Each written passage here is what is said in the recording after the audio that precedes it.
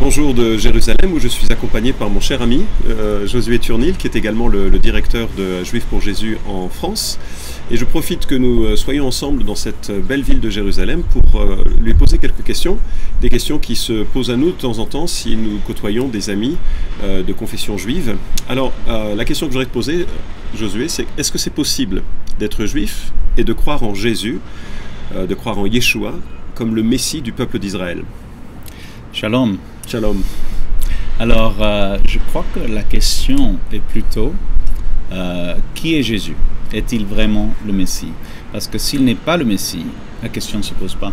Les Juifs ne devraient pas croire en lui. Euh, mais s'il est le Messie, donc la, la, réponse est évidente. Alors, pour beaucoup de Juifs, la, la judaïté est une question de religion. Mais quand j'avais un mois, je suis juif de parents de tradition, quand j'avais un mois, je n'avais aucune conviction, aucune religion dont j'étais conscient. Et pourtant, la communauté juive me considérait juif. Donc, je suis juif à cause de quelque chose d'indépendant de mes propres choix, de ma propre volonté.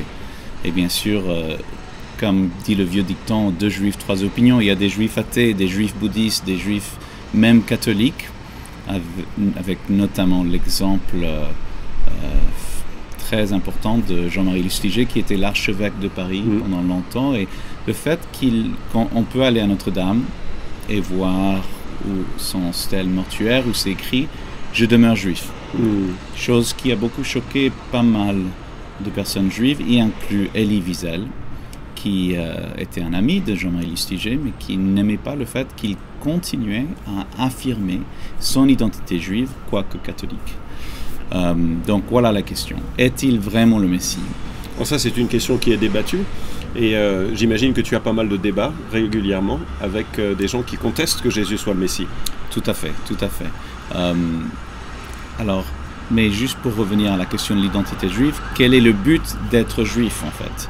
Euh, et pour moi, ça va à la Torah. On doit aller à la Torah. Et la Torah dit que le but d'être juif, c'est d'être une lumière pour les nations. Mm.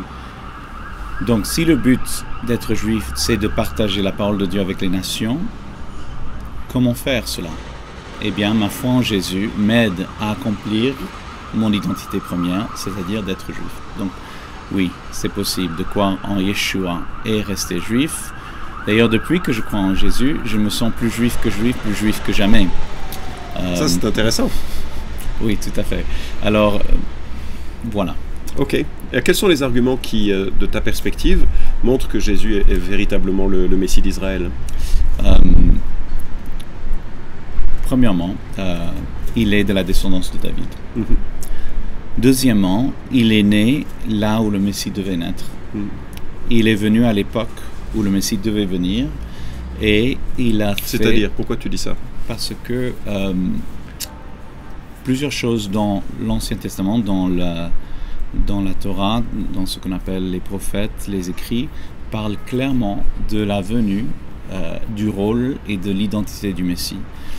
Donc, euh, juste comme exemple, le prophète Daniel dit que le Messie doit venir avant la destruction du temple et que son rôle majeur, c'était d'amener le pardon, l'expiation éternelle. Mm. Euh, alors le temple fut détruit en l'an 70 et euh, l'argument majeur de l'évangile, c'est que le Jésus, le Messie, est mort pour nos péchés selon les Écritures. Selon les Écritures, à savoir que les Écritures sont basées sur le temple et sur le sacrifice pour les péchés. Et donc Jésus, sur sa mort, sur la croix, est mort comme corban, comme sacrifice victime expiatoire pour nos péchés. Alors ça c'est quelque chose qui existe dans le judaïsme très très fort. Il y a, euh, c'est le principe de mitatan sadukin mikaperet, qui veut dire la mort des justes justifie ou sanctifie ou sauve. Alors justement, ce que j'ai parfois entendu, c'est que Ésaïe 53, et euh, si euh, jamais vous écoutez ce podcast et vous êtes de, euh, confession chrétienne, vous avez souvent lu Ésaïe 53 comme étant la prophétie, enfin l'exemple même de la prophétie qui annonce la mort du Messie pour le sacrifice des péchés. Mais je sais que quand je parle avec des amis de confession juive, ils me disent ah oui, mais ça c'est, ce sont les justes qui, c'est le peuple, le serviteur de l'Éternel, qui expie pour, les, euh, euh, pour Israël. Comment tu réponds à cela? Alors juste pour être clair, clair Ésaïe 53, c'est pas un joueur de foot ou de rugby, c'est Ésaïe, le prophète, chapitre 53. Et, euh, merci, merci. Et, linguistiquement, euh, c'est impossible que ce soit Israël. Numéro un. Euh, deuxièmement, une lecture simple. Dans, le judaïsme, l'interprétation, c'est pas shoot, c'est-à-dire ce qui est le plus simple. Le premier regard est ce qui donne sens au texte. Donc, si quelqu'un aborde ce texte sans l'avoir lu auparavant, la première réaction va être que c'est Yeshua. Deuxièmement, même des commentateurs rabbiniques comme Nachmanide et d'autres ont confirmé que ce texte s'applique au Messie. Maintenant, ça a changé au Moyen Âge, malheureusement, à cause de la persécution euh, de la chrétienté vis-à-vis des Juifs, ont utilisé ce texte euh, pour forcer des conversions. Hmm. Et voilà le problème. C'est pour ça que la question se pose est-il possible d'être juif et croire en Jésus? C'est à cause de toute cette historique de persécution de l'Église euh, vis-à-vis du peuple juif. Ça, c'est une tragédie extraordinaire. C'est regrettable. C'est un non-sens. C'est regrettable. C'est un non-sens. Euh, mais pour mes amis chrétiens euh, qui aimeraient parler avec leurs amis juifs, euh, si Jésus n'est pas le Messie d'Israël, il ne peut pas être le Christ des nations.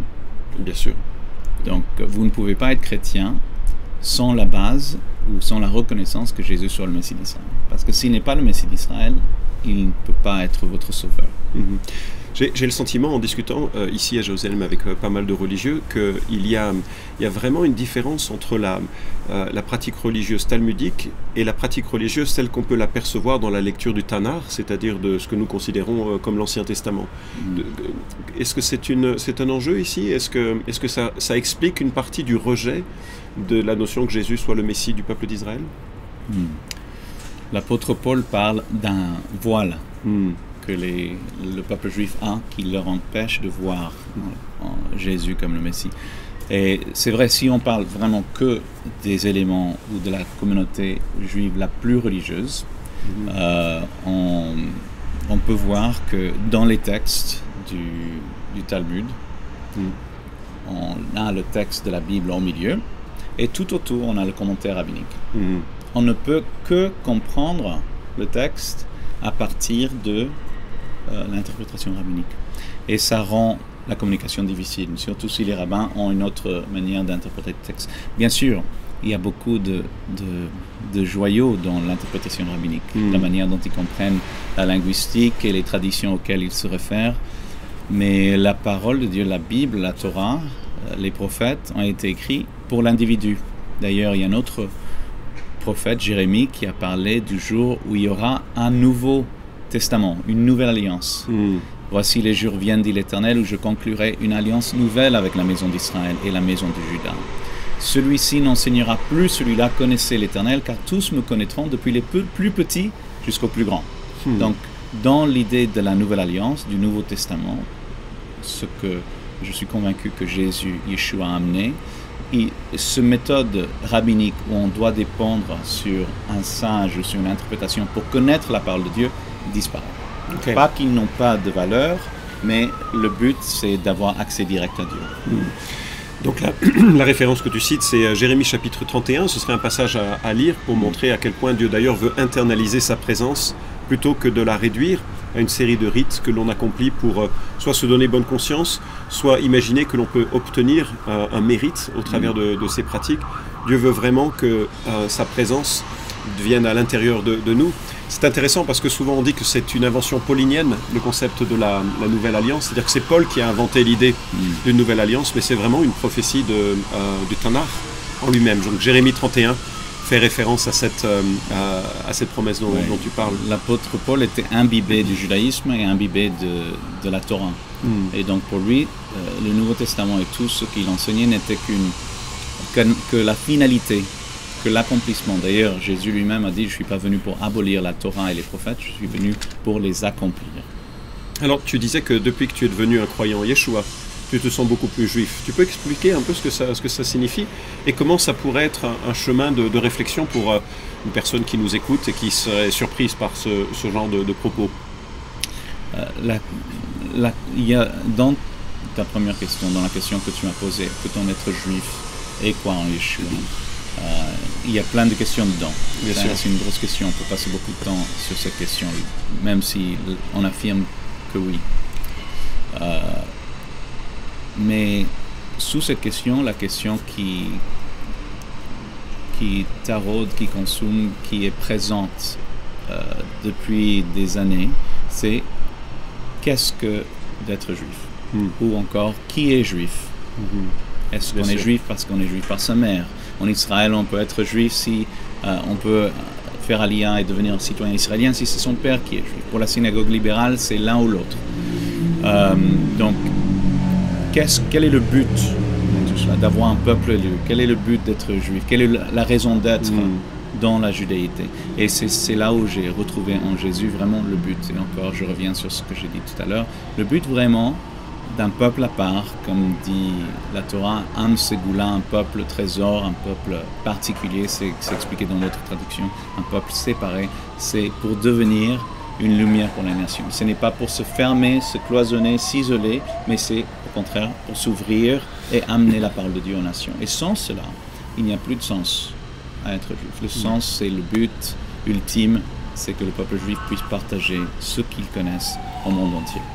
L'une des grandes surprises que peut euh, faire un, juif euh, orthodoxe ou pratiquant, euh, c'est d'ouvrir le, le, Nouveau Testament avec Matthieu chapitre 1 verset 1 et là, la plupart s'attendent à commencer un écrit qui, euh, euh, dont on, l'a mis en garde comme étant antisémite, comme étant euh, une sorte de guide de persécution. C'est pas moi qui le dis d'ailleurs, on trouve pas mal de témoignages comme ceci de, la, pensée que les gens ont fait, malheureusement à cause de, l'horreur de la chrétienté, et que je distinguerais des disciples authentiques de, Jésus, mais de l'horreur de la chrétienté dans, les siècles. Donc il ouvre la première page, le premier verset du Nouveau Testament, et ça dit quoi? Tu te souviens? Voici le livre de génération de Jésus le Messie, fils d'Abraham, un juif, fils de David. C'est le synonyme pour dire Messie. Oui, euh, on ne peut pas avoir une introduction plus juive au Nouveau Testament. Fils d'Abraham, fils de David, c'est vraiment la racine de, de, la, de, la, foi chrétienne et du, euh, du message de, l'Évangile. Euh, est-ce que, alors tu es le seul à être un, juif qui croit en Yeshua? Heureusement non, même si des fois, les, en général quand les, les Juifs viennent à Yeshua, ils se sentent assez seuls. Mais si vous êtes là et vous entendez cela, vous n'êtes pas seul euh, à croire, à considérer ou à sympathiser avec Yeshua, avec Jésus, et vous pouvez euh, être en contact avec plein de Juifs croyants en Jésus partout dans le monde et aussi ici en Israël. Oui, c'est euh, une chose. On, euh, Juif pour Jésus a réalisé un très très bel euh, inventaire un peu des croyances des, de la jeune génération juive de par aux, États-Unis. Et j'ai découvert que 30, plus de 30% des, des Juifs considéraient qu'il était possible d'être juif et croyant en Yeshua. Donc les choses changent. Et eh bien, écoute, je te remercie d'avoir répondu à une première question. Dans un prochain podcast, on regardera les objections fréquentes qui sont évoquées à l'encontre de la messianité de, de Yeshua, et puis voir comment, euh, comment en parler. Et j'espère que c'était utile en tout cas pour, euh, pour découvrir un autre aspect de la, de la foi euh, chrétienne et peut-être pour réfléchir si jamais vous venez sur ce podcast un peu neuf avec cette question surprenante, peut-on être un juif et croire en Jésus en tant que Messie? Shalom Yerushalayim. Shalom.